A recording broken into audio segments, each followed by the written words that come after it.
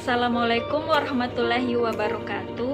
Perkenalkan, nama saya Ririn Febrianival dengan NIM 191444005 dari kelas Pendidikan Biologi ICP. Nah, pada kali ini saya akan melakukan praktikum dengan mengamati anatomi dan morfologi dari reptil, khususnya pada cicak atau biasa disebut dengan Hemidactylus frenatus. Baiklah, jadi di hadapan saya sudah ada alat dan bahan untuk melakukan praktikum kali ini. E, baiklah, saya akan menunjukkan alat dan bahannya. Yang pertama itu ada seekor cicak atau Hemidactylus frenatus. Kemudian ada papan bedah. Kemudian ada gunting. Ada pinset kemudian ada pentul, dan ada silet. Selain itu, saya juga menggunakan alkohol untuk mematikan e, cicak. Alkohol 70%. Dan yang terakhir ada tisu.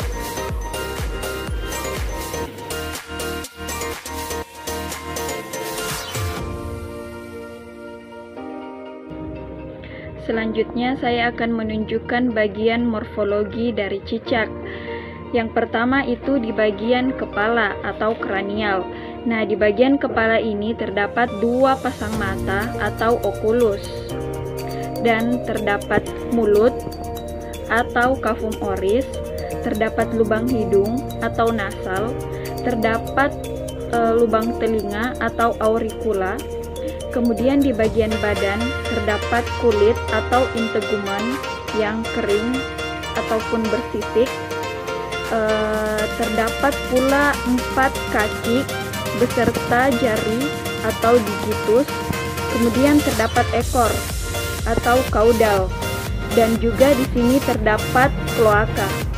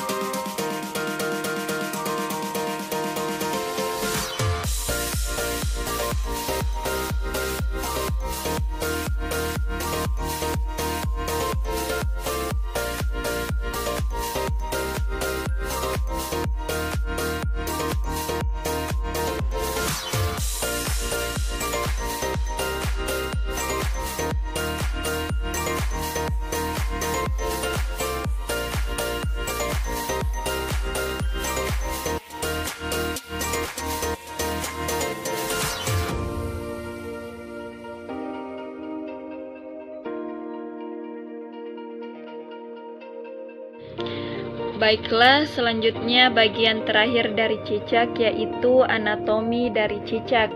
Nah, dapat kita lihat di bagian atas ini merupakan kerongkongan cicak atau biasa disebut dengan esofagus.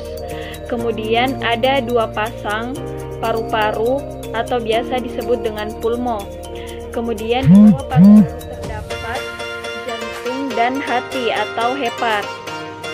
Selanjutnya ada lambung atau ventriculus, kemudian ada ovarium, kemudian ada ginjal atau neres, dan kemudian ada kandung kemih atau vesika urinaria.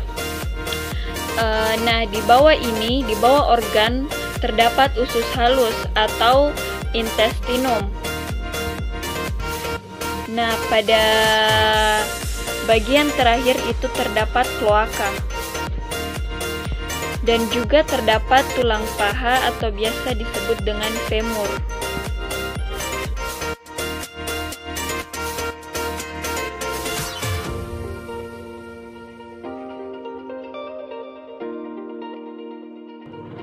Setelah melakukan praktikum pada seekor cicak dengan mengamati morfologi dan anatominya, kita juga perlu ketahui terkait dengan uh, reptil.